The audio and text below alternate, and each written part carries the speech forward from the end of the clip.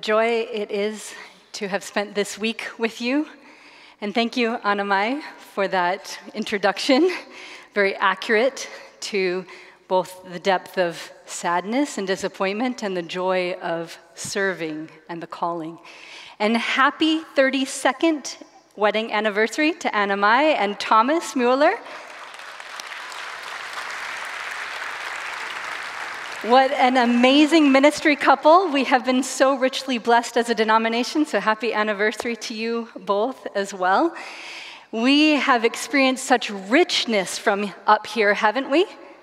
Amen? The theologians, the Levites that have been leading us in worship with such depth, it has been such a balm to my soul to be led with such intentionality. Thank you. Thank you. Would you join me in gratitude? It takes a lot, the offering that you've poured out. So thank you. And thank you so much to Elder Patrick and as well Daniel and the rest of your team that have, has made EPC possible. It has been really a joy uh, to be here. I've appreciated so much the stories of your perseverance, of humility, of your call. And I thank you for how you've shared that in the conversations, in the hallways. And truly, this has become a sacred place in here and in all of the spaces that we have inhabited because the Holy Spirit has been among us. And that's the greatest gift.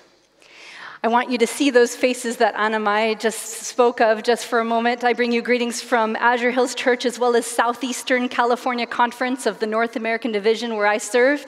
And these are those faces of my beloved ones.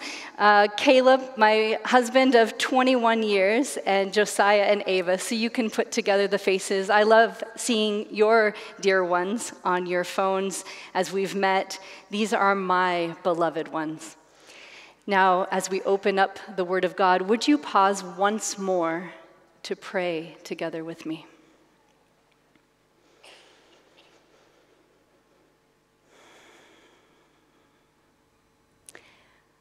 I invite you to just surrender anything else that might be on your mind or heart to place it in the hands of God.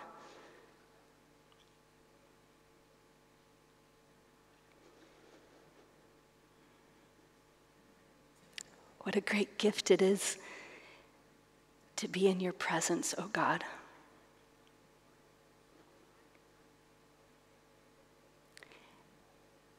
I pray that you would speak to our hearts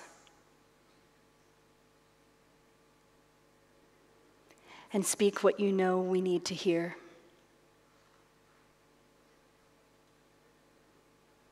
In the name of our Jesus, amen.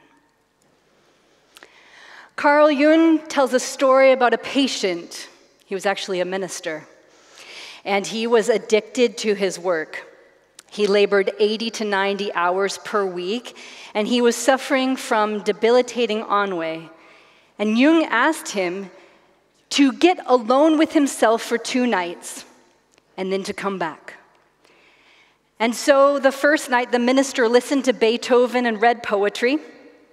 The second night, he listened to Mozart and he read a novel. He went back to Dr. Jung and asked, who asked how he had spent his time. He recounted to him what he had done, and Jung responded immediately, No, that's not what I asked you to do. I asked you to spend time not with Mozart, but with yourself. To which the minister replied, But I can't stand to be with myself like that. Dr. Jung said, This is the self you are inflicting on everyone else 80 to 90 hours per week.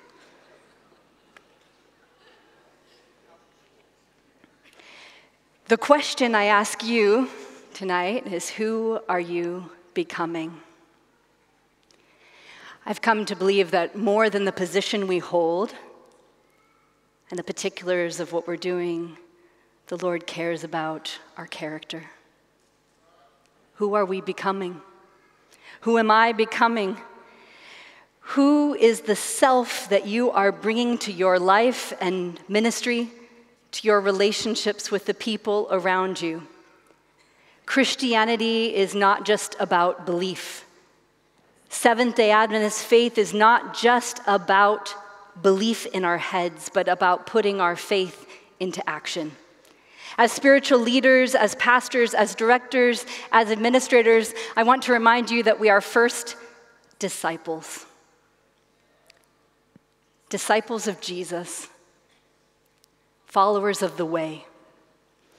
It is imperative for us to understand that it is not just knowing, as we've heard from here on this very platform, but our being and our doing that is what makes holistic discipleship. The good news for you and I is that discipleship is a lifelong process of growth in Christ.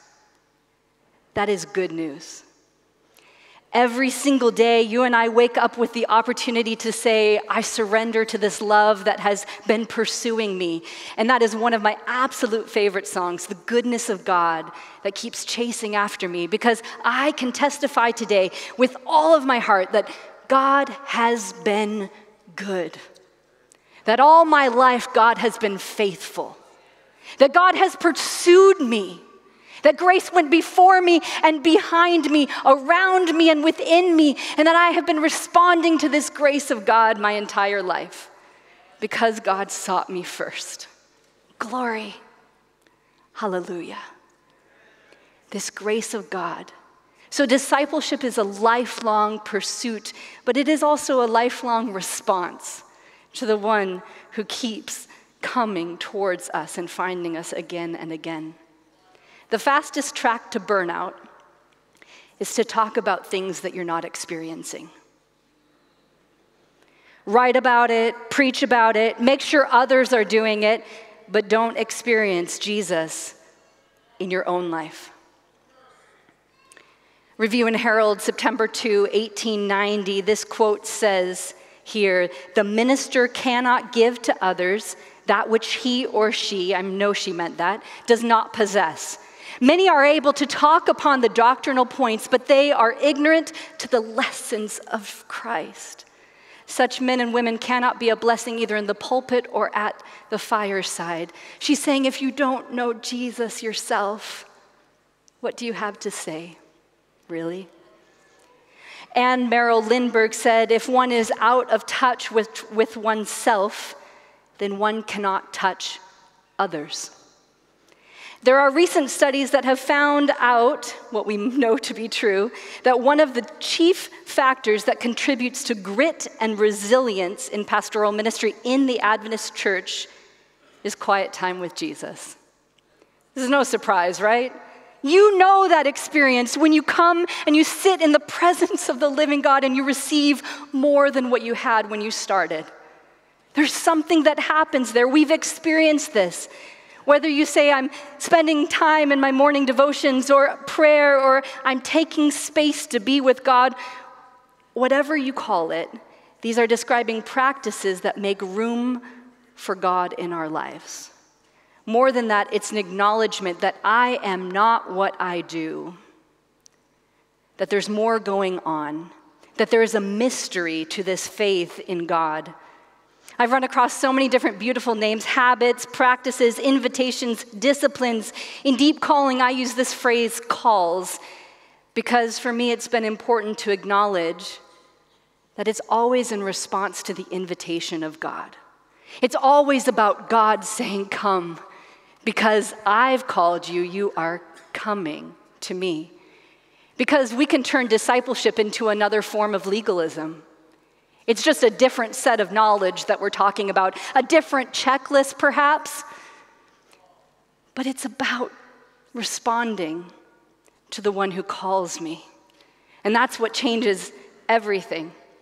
The eight calls of God in deep calling are dis- devotion, prayer, rest, community, healing, witness, service, and blessing. These have been life to my soul. I speak to you about what has been and is saving my life, tangible habits that have shaped me. These habits, whatever you call them, are not grace themselves, but are avenues of God's grace. These take the form of my own discipleship journey as well as how I disciple others. Because Jesus says, Come, follow me, join me in what I'm doing in the world, and do it in community.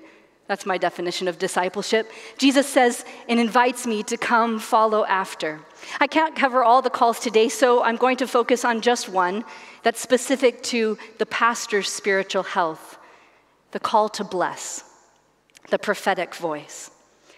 Perhaps you've heard the uh, phrase, sticks and stones may break my bones, but words will never hurt me. Have you heard that lie?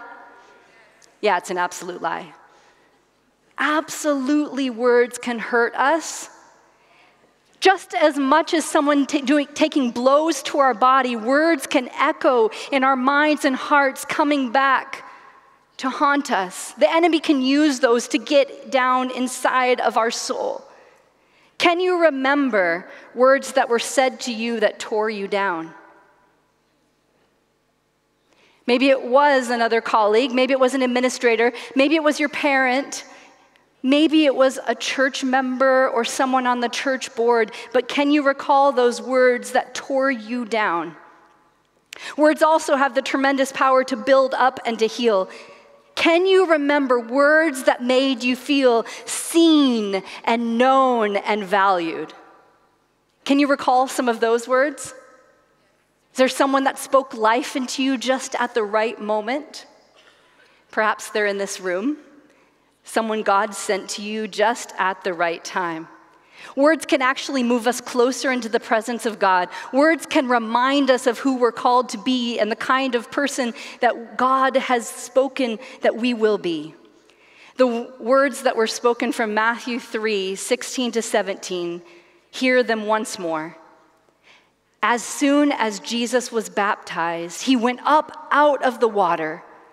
At that moment, heaven opened, and he saw the Spirit of God descending like a dove, alighting on him. And a voice from heaven cried out, This is my Son whom I love. With him I am well pleased. This is the beginning of Jesus' ministry. He comes out into the desert to be baptized by John, and he hears these words spoken over him this is my son. I'm pleased with him. This is before Jesus has done a single miracle. This is before Jesus has preached a single sermon. This is before Jesus has given himself as a ransom for many, bring us into closer communion and connection with God, bridging the gap between us. He's done nothing. And the start of his ministry is this. I believe it's a scene that defined his entire ministry, where God spoke to his identity and his belovedness. He faces temptation in the wilderness, and Mark 1 says, after he hears these words, that the Spirit leads him out into the desert. Immediately after he knows for sure his identity in God, the Spirit leads him out to be tempted, to face a desert season. Have you ever been in the desert? Does your throat feel that familiar parched feeling? Perhaps you're in the desert right now. What got Jesus through the desert, what got Jesus beyond the trial, were these very words God spoke over him You are my beloved. Jesus came to remind us how God feels towards us. This very same thing is spoken over you and I. We are called to work from belovedness, not to belovedness. We are called to work from our belovedness, not towards somehow earning something which is already ours. One of the people that did this so well in my life is Pastor Salam Elias. He moved from Iraq to Lebanon and then to Loma Linda, California, where he served at Azure Hills Church since 1976. From full time pastor to part time pastor to quarter time pastor, and then retired. and then he passed away in 2021. But imagine the impact that he had over all of these years in the life of our congregation. For five years, I experienced this very profoundly. I remember when I got to Azure Hills, his family wasn't sure how he would receive me. A woman senior pastor. Culturally, this is something that they didn't believe their father would be open to. But I remember meeting him for the first time. As he rolled his walker towards the door to greet me after my sermon, he looked at me and he said, Beloved, I love you. and he gave me a big hug. And that was how he was with everyone arms stretched out wide. They said that's their memory. I met someone in the community that hadn't been to our church in 15 years, and they said, Is Pastor Elias still there? And by that time, he was very old and feeble, but I said, Yes, he is. And they said, You know what he always did? Stood with outstretched arms to give me a hug whenever I came in. And during that era, we weren't very kind to those who were going through a divorce. And this person said, When I went through my divorce, he was the only one whom I knew accepted me. That's the kind of love that he embodied in his life. So for five years, I heard, Beloved, I love you. Beloved, I love you. Pastor Elias embodied this love for all of us. The light in his eyes is the way that our God looks at us even now. You are God's beloved. It is this identity of as God's beloved that can shape the way that we live and work and serve in the world. Genesis chapter 12, 1 to 3 says, The Lord said to Abram, Go from your country, your people, and your father's household to the land I will show you. I will make you into a great nation, and I will bless you. I will make your name great, and you will be a blessing. I will bless those who bless you, and whoever curses you, I will curse, and all the peoples of the earth will be blessed through you.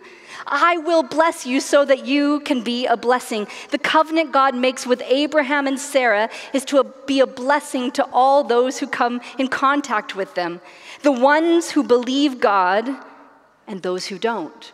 Everyone can sense God's blessing on them and to them. The blessing of God doesn't stay with us. The covenant God makes with God's people is for the sake of humanity. They would be a channel of God's blessing, even down to us today, generations later. The call to bless is a call to affirm life where we find it, to build others up, to speak affirmation, to offer hope, to bring good news, to lean into what is not yet. This is one of my favorite verses in the scriptures, Romans 4 17. Romans 4:17, the God who gives life to the dead and calls that which is not as though it were. One of my favorite verses because God comes along and says, "It's not yet, but it will be." Calling that which is not as though it were. God says, I love you, I accept you completely, and I can't wait for you to experience the more that I have planned. Let me call that which is not as though it were. And then we, as children after him, come in people's lives and we see what they don't see yet. And so we come with words of life and blessing and we speak over them things that are not yet a reality for them. And we call that which is not as though it were. Perhaps the way that we are struggling with discipleship and what it looks like is because we read Psalm 1 and it says, You will be like a tree planted by the springs of water. And we picture this kind of tree right here the stately oak that stands all alone, strong and proud. But the next picture is a grove of aspens. And aspens are different than oaks. Aspens are one organism. So you look and you see many, but they all share a singular root system. They're all connected underneath the ground, and their strength is in their shared roots. That's the body of Christ.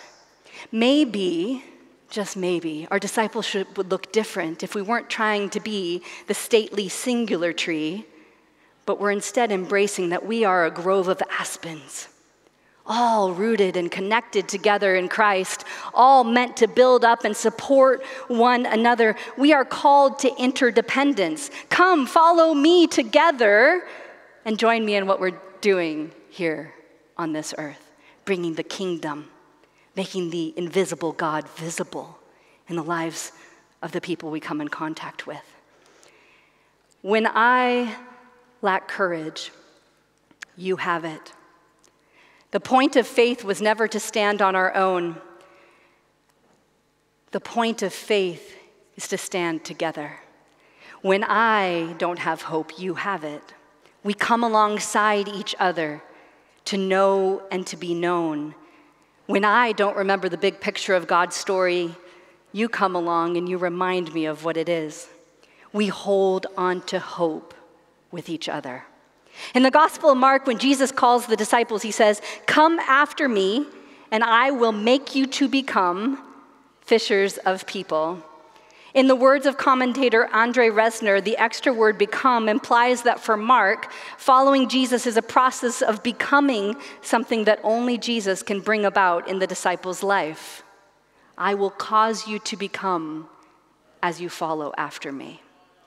So, who are we becoming? Being a disciple is a lifelong process of growth in Christ. We can't expect change overnight. We come to Jesus, we become disciples, and there's transformation in the process. It involves our head, it involves our heart, it involves our hands. Edna Butterfield tells this story that I love, and it's about her husband, Ron, who teaches mentally impaired teenagers. And he teaches them to do things that they didn't expect that they could do. He teaches them how to make repairs on electronics, how to play chess, how to do things with their hands. And as he does this, he tries to inspire them to believe in themselves. There should be a picture of a toaster that you'll see just a moment, because he knew this one young man had really started to internalize what Ron was teaching him when he came in one day with a broken toaster under one arm and under the other arm, a half loaf of bread. It's broken, but I expect it to be fixed.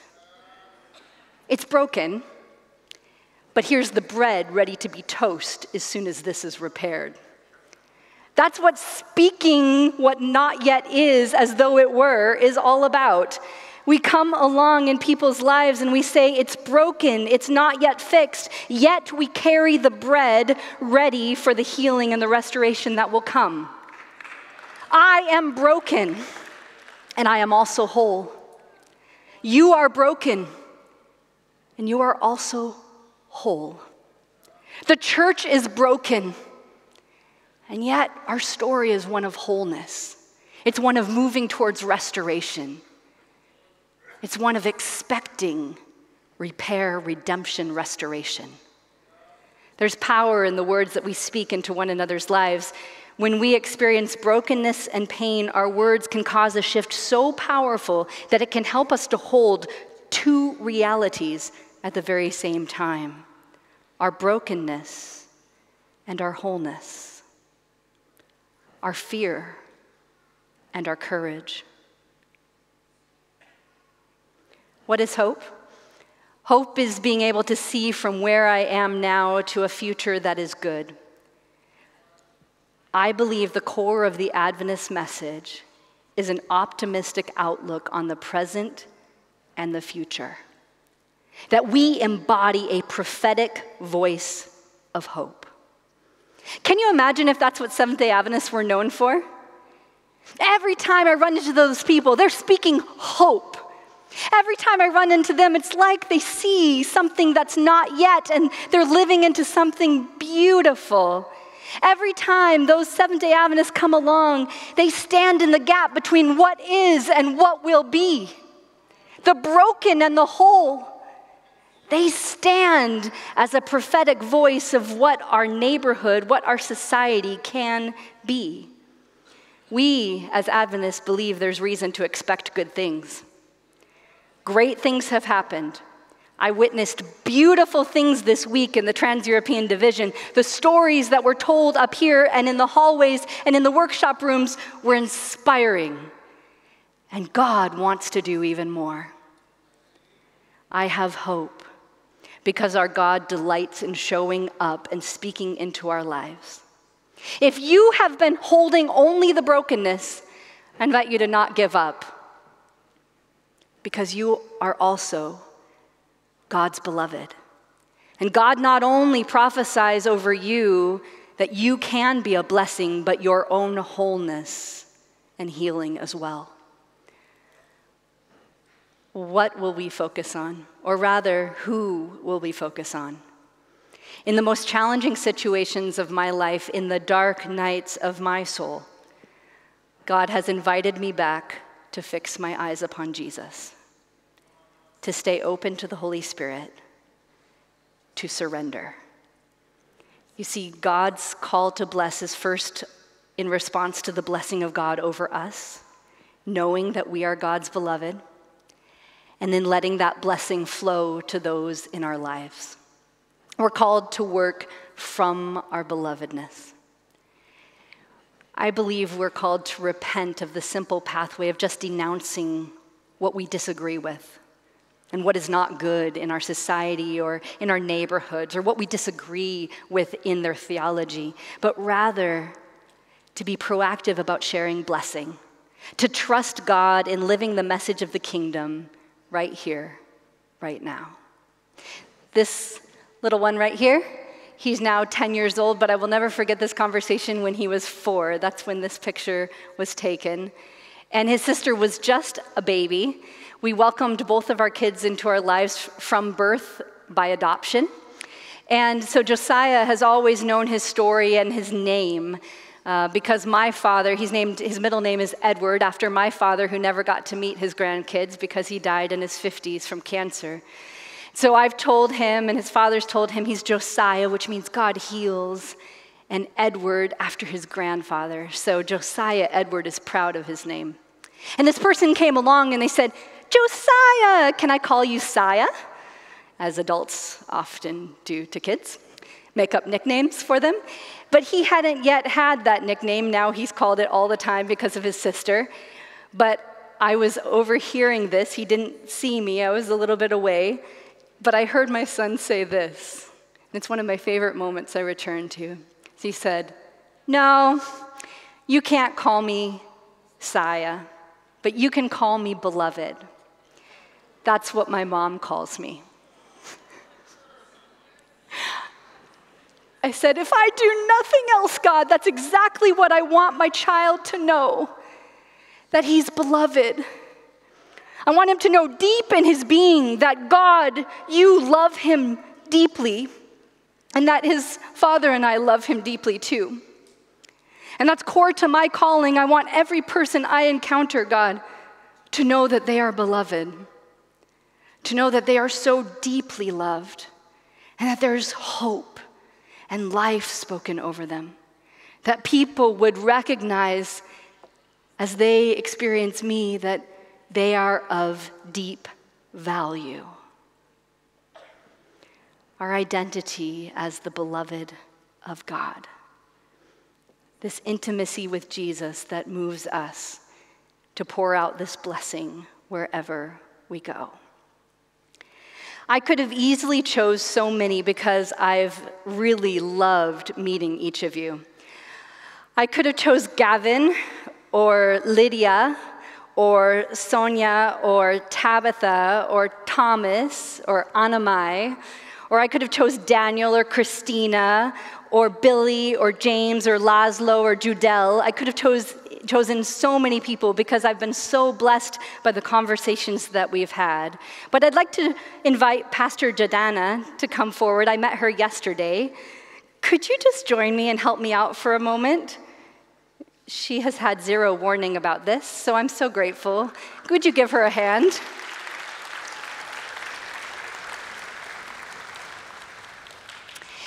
This uh, Pastor Jadana from Denmark that I had the great privilege of meeting yesterday. In just a few moments, I'm going to invite you to bless someone here in this room. And I'd like to bless you. It was a joy to meet you yesterday. So I'd like you to offer the same to someone around you. If it's comfortable for them and for you, may I place my hand on your shoulder? Is that okay with you? Pastor Jadana, you are God's beloved daughter and God is pleased with you. You have God's favor and God's smile. I was deeply blessed by the well of passion within you your passion for God's children and your desire to see them not lost or slipping through the cracks, but that they would be companioned as they learn what it looks like to follow Jesus. I see you and I value what you bring into this world and into this church and into the ministry. God bless you.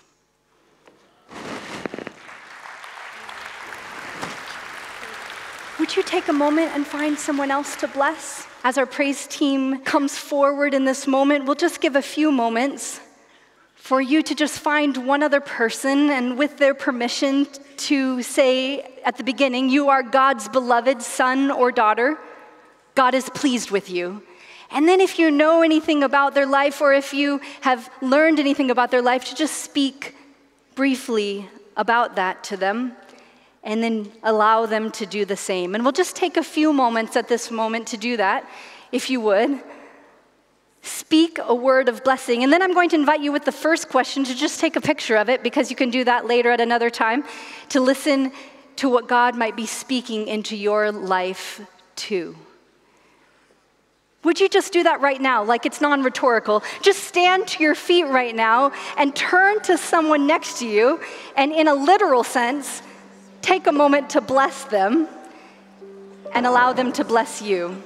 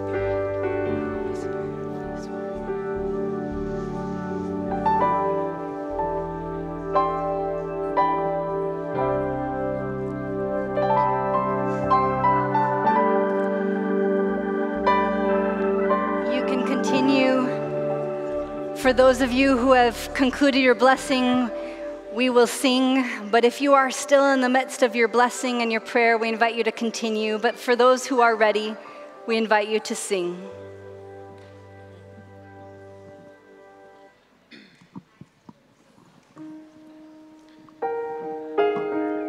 Let's stand up for our last song.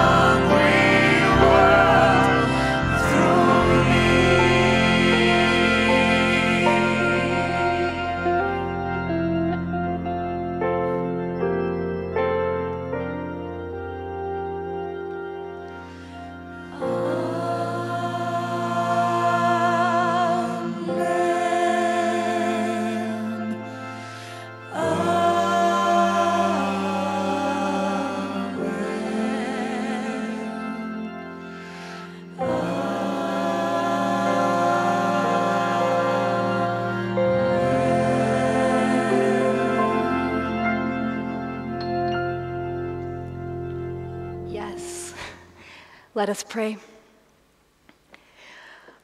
O dear beloved sons and daughters of God, may you too sense God's smile, God's favor, God's absolute delight in you.